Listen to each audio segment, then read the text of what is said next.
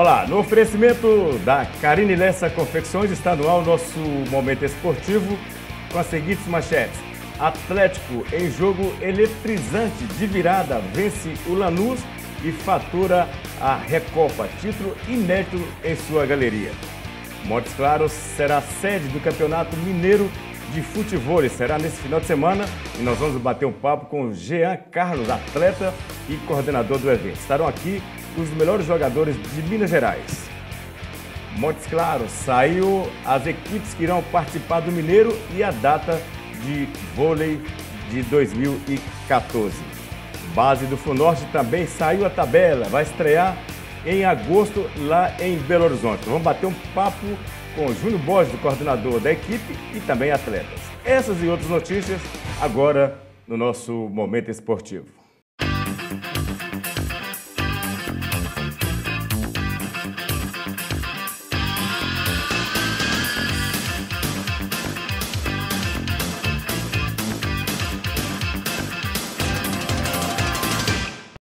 Federação Mineira de Voleibol divulgou as equipes e a tabela do Campeonato Mineiro de Voleibol 2014. Montes Claros, que agora chama-se Montes Claros Tênis Clube, estará participando e vai estrear dia 27 de agosto lá em Contagem contra o todo-poderoso Sada Cruzeiro. É a galera preparando para ir lá ver o novo time de voleibol de Montes Claros. Novo no nome, mas os nomes são conhecidos, antigos conhecidos, Rodriguinho, Salsa, Ezinho e muito mais. Não, não está completo ainda o plantel, mas o time promete muito dar alegria a essa torcida Montes Clarense e Norte Mineiro. Portanto, dia 27 em Contagem contra o Sada Cruzeiro. A estreia aqui em Montes Claros, no Caldeirão, será dia 7 de setembro. É bom ir preparando a torcida. No próximo final de semana será realizado na Associação Atlética Banco do Brasil Campeonato Mineiro de Futebol. Estarão aqui Nonato, que jogou no Cruzeiro, Ivanilson, que jogou no América e vários outros jogadores. Nós convidamos para bater um papo conosco o coordenador e atleta, o craque Jean Carlos. Ele vai falar como vai ser esse campeonato, tem premiação, dinheiro e muito mais. Jean, seja bem-vindo ao nosso Momento Esportivo. Obrigado, Rubão. Para mim é um prazer imenso estar aqui, presente aqui, do seu lado. Você é um cara que está no esporte aí direto com a gente aí, só agregando e, somando com a gente. Já, o campeonato será de quando a quando e quem estará participando aqui? Será Os dia, atletas. dia 26 27 agora, de julho, lá no, no ABB, com vários atletas do, de Minas inteiro para disputar o futebol em Montes Claros. Vem Nonato, quem já está garantido? Nonato, é Vanilson, Donizete Morim e provavelmente o Tuxo também estará também e o da Silva. Tinha a possibilidade do Mancini estar tá participando? Com certeza, tem essa possibilidade. 80% de chance de poder, dele poder vir visitar Montes Claros aqui e poder dar uma força para a gente aqui. Daqui, quem são os atletas que irão participar? Você, lógico, né? Eu estarei presente lá, mais uma vez, para para disputar esse, esse, torneio, esse campeonato de futebol. Mas vão ter pessoas de, de até na beira aqui de, de, de perto de Montes Claros, como São Francisco, entendeu? Pirapora. E Montes Claros vai ter atletas como Fredinho, pequeno, que já estão aí no, no ranking nacional de futebol. Terá eu e mais a pessoa do, do, do, da Palimontes, né? O Cássio. O né? Cássio. Né? Gerinha, entendeu? Que estão envolvidos aí também no esporte. São quantas categorias? É uma só ou vai ter base também?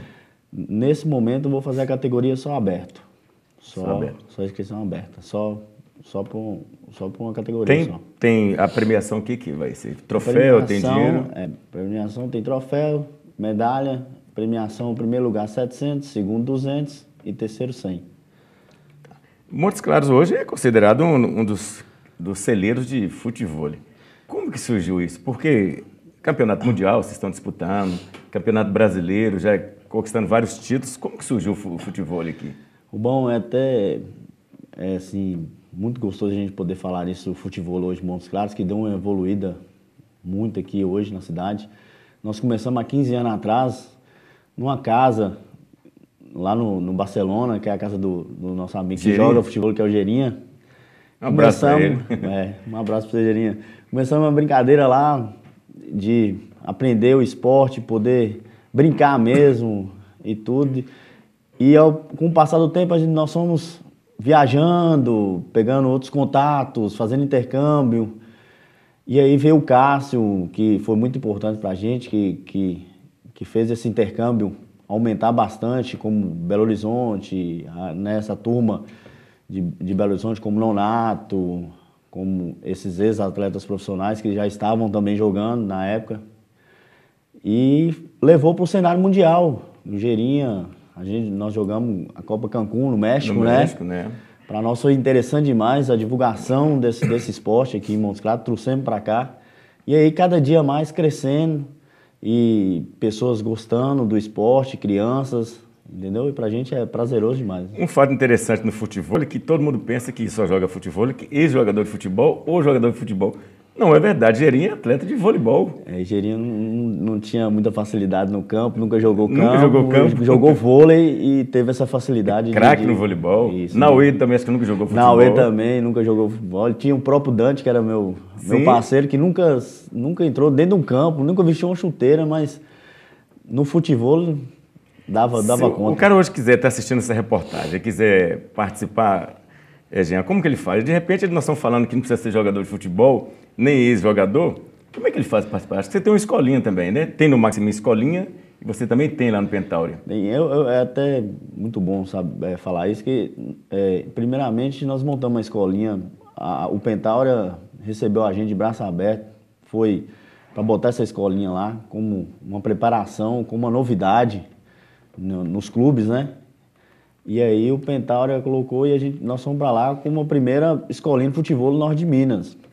E aí pegou, fizemos intercâmbios, levei meus alunos para jogar em BH, numa quadra lá que chama da Túnel, da Túnel. E aí, com nessa quadra é onde joga o Nonato, esse pessoal, né? Irene, Vanilson, hum. Tuxo, Ed Aleixo, entendeu? Então, fizemos um intercâmbio. Com isso, Rubão, foi muito gostoso e prazeroso que outras, outros clubes puderam abraçar a causa, né? Uhum. Colocou agora na escolinha lá, com o Fred lá, que está fazendo um ótimo trabalho lá. É, tem garotas, garotos. garotos criança, menino e, e, e mulheres moças, também mulheres é jogando. É bacana. E o futebol é isso mesmo, é uma preparação para, por exemplo, para quem está jogando futebol, o futebol ajuda a preparação de, de, de, de movimentos, de, de percepção e de, de ajuda também no fortalecimento do, do, do, do atleta. Você podia dar, falar algumas, algumas jogadas, características que tem no futebol, aquela que você põe, eu sei, aquela que você põe o pé lá na rede, como que chama? É o Shark Attack. O Shark Attack ele é um, uma jogada muito bonita, muito interessante. Quem, quem aprendeu e, e, faz isso muito bem é o Fredinho aqui em Montes Claros. Ele é, ele é fora de série. Muito, vai muito você alto. Você muito bem fisicamente muito fazer bem aquilo. Né? Fisicamente né? tem que saber cair também e pular direito, porque senão você é perigoso você machucar. Tem o ombro que eu uso muito. E, e o futebol tem muito uma, uma, técnica gostosa e prazerosa que é usar muito a força do pescoço. Ela que, que te dá impulsão, ela que faz a jogada sair mais bonita e faz o ataque. O peito também, né? É, o peito também. É, Acho que usa mais o peito do que a é própria o, perna. É, o peito é mais fácil você poder conduzir a bola né, ao outro e, e, e poder fazer o ataque melhor. Campeonato Mineiro, nosso, nosso bloco está chegando ao final. Queria que você falasse como fazer para participar, pode participar, quem está assistindo quiser escrever e onde escrever. Pô, ó, o Campeonato Mineiro vai ser no, no ABB. E quem, quem é, vai ser um campeonato aberto, quem puder ir, vá. E a inscrição, quem quiser poder fazer também, poderá fazer. Entendeu? Lá na ABB? Lá na ABB. E a gente pede a presença de todos para estar tá participando, para estar tá envolvendo, porque o, o futebol já é um crescimento em Montes Claros. E a gente pede a, a colaboração de todo mundo para poder ir e prestigiar esse evento que vai ser um Sábado, evento, que horas? Sábado a partir de 8 horas. E encerra no domingo? Encerra no domingo com a semifinal e final. E tá queria agradecer também, irmão, a você poder trazer a gente aqui e, e mais uma vez de poder prestigiar o futebol na cidade de Montes Claros, que está precisando muito, mais de apoio, mais de, de, concentrar mais também no esporte. E a, a, o André, né, o secretário de esporte, que nos está começando a nos ajudar a evoluir mais o futebol Montes Claros. Sabemos que agora, até novidade que vai sair a, a praça, né? Na Praça de Atobás, vamos fazer uma quadra de futebol lá, é, entendeu? Com vôlei, com tudo. Então, pra gente é um prazer e é uma alegria imensa de poder estar tá chegando nessa vai parte. Muito legal, muito legal, muito legal mesmo. Tá certo, nós batemos um papo com o Jean Carlos, o coordenador do Campeonato Mineiro de Futebol, que será realizado em Montes Claros nesse final de semana lá na ABB. Jean, muito obrigado, boa sorte lá. Obrigado, bom, estaremos lá presentes. Precisar da gente aí, nós estamos às ordens. Próximo bloco tem muito mais. Tem gol do Atlético e tem um bate-papo com o Júnior Borges e a galera da base do Funorte. Já já a gente volta.